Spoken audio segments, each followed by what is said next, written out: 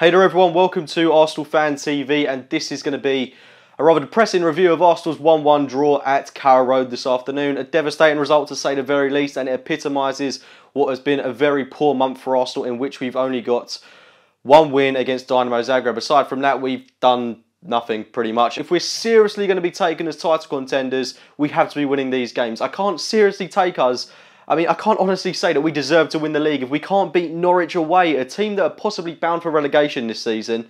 And in that second half, we've made them look like world class opposition. I mean, only Arsenal could do that. It is a devastating result tonight, an awful performance to that, especially in that second half. I think we only had about three or four shots on target, which against Norwich is abysmal.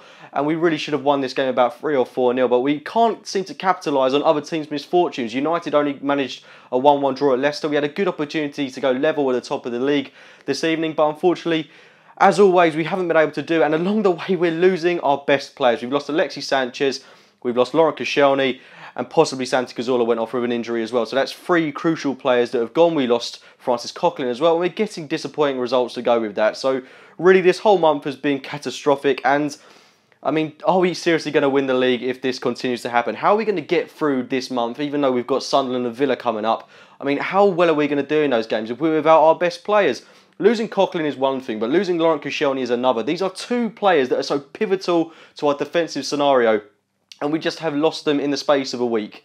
It's abysmal the way that these injuries are being dealt with, and you could argue that they've been rather unfortunate, but one injury that certainly wasn't unfortunate, and one that could have definitely been avoided, is the injury to Alexis Sanchez, who looks like he's done his hamstring, and he's possibly our best player, and we're going to lose him for what could be four to six weeks, which is that's him out for the whole festive period, and we've we, that's the most crucial part of the Barclays Premier League. Everyone knows that, and to not be with our best player is, um, you know, leaves us in a real dilemma. But he had a niggle against Dynamo Zagreb. We could have taken him off when the game was won. He needlessly stayed on the pitch. We could have taken him off. We could have given a bit more time to someone else, but unfortunately he stayed on the pitch, and it's costed us today. Uh, it's it's it's just not good. It's poor management in my eyes, and it's not the first time it's happened this season. The same thing happened to Theo Walcott. We've been without him. That's cost us. Giroud was awful today, to say the very, very least. He just looks complacent. He looks lethargic. He looks too much like he knows that place is warranted and he's got no one challenging him for it, which he doesn't. But that's down to not buying any outfield players in the summer. We are so threadbare we're at the very bones of our squad now, and I'm seriously worried going into this next couple of months, especially if we're going to be without four or five of our most pivotal players to the squad. I mean, it's just ridiculous how we're having to resort to players like Matthew Flamini and Joel Campbell. I mean, albeit they give it their best in these games, but they're not at the level required to challenge for the league if you're Arsenal Football Club. And I seriously doubt that we can go on and mount a serious title challenge albeit where we are on the table, if this continues to be a recurring theme. You have to beat Norwich away if you're going to win the league, and we haven't done that today. And like I say, we've got a load of injuries on the way. But the game didn't start off in the worst manner. One thing that I was disappointed with was that uh, Mertesacker kept his place in the squad, but Gabriel did get a chance, as we saw a little bit later on, but we'll get onto that a little bit later in the pre, in the uh, review, should I say. But we got our first goal. Mesut Ozil again linking up with Alexis Sanchez. These two have been phenomenal for us in the past couple of games, despite the poor run of results. Uh, Alexis did really well, uh, kind of bulldogish style to get the ball back from the Norwich player. Plays in Mesut Ozil with an excellent through ball, and Mesut Ozil makes a delicate chip over John Ruddy to put it in the back of net, 1 0 to the Arsenal. And you think at that point, we're going to seize the game by the scruff of the neck, we're going to take control of it, and like we were a couple of a couple of months ago when we were winning 3-0 against the likes of United, settling games, setting the tone for games in a matter of minutes by scoring goals, taking control.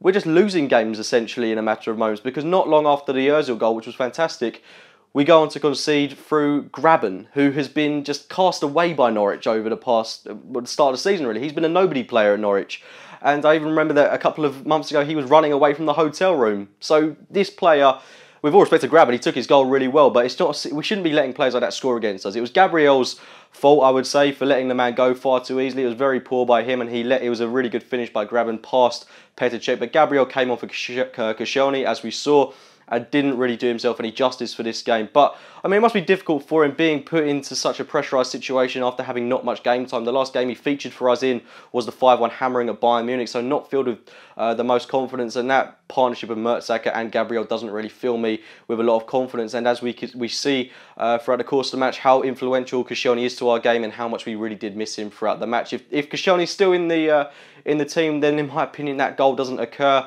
and we'd have still been 1 0 up and we could have gone on to capitalise on that and get a couple more goals. But we went into half time 1 1. Second half, we've got to come out and we've got to get a couple more goals. You think we've got to win this game. It is a crucial uh, fixture that we've got to be getting the results in. But our midfield really let us down. I think Aaron Ramsey, Santi Cazorla just really didn't have their best games today. They looked really off the boil. But the fullbacks weren't that great as well. Wasn't Monreal's best game, although in that first half, probably our best player and one of few players that actually did work really hard in this game. Bellerin certainly didn't have his best game on the right hand side. That's two Premier League games in a row now that he hasn't been overly convincing. And uh, yeah, I mean, we bring on Joel Campbell, we bring on Oxlade Chamberlain for Aaron Ramsey, but they didn't really have much of an impact on the game. I can take very few positives from this match. One one that I can take though is that Chamberlain looked decent for the time he was on the pitch. His crossing certainly seems to have improved, but Giroud very disappointing up top. Joel Campbell couldn't really have any impact on the game.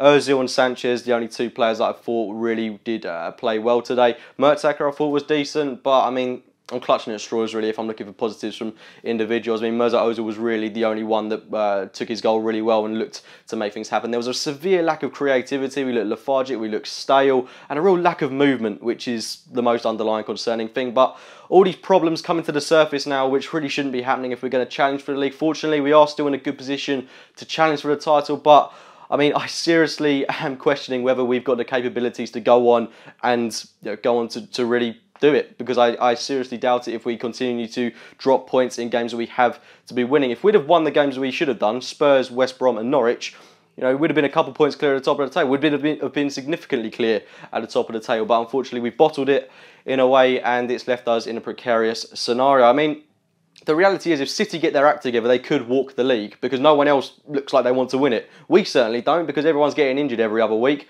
and we can't win the games that we're meant to. But anyway, I won't ramble on too much about how disappointing Arsenal have been this afternoon and how far we can go in this title race because that could just get really depressing at a point. But anyway, those have been my thoughts on this evening's 1-1 draw at Carrow Road. Get your own thoughts in the comments box below. Please do follow me on Twitter at simplycookie underscore. If you do want to get involved in these videos, I will tweet your thoughts during the uh, review segment on screen so you can have your thoughts heard on the channel. As well as that, like the video, subscribe to Arsenal Fan TV if you're new, and as always, I'll be speaking to you very soon.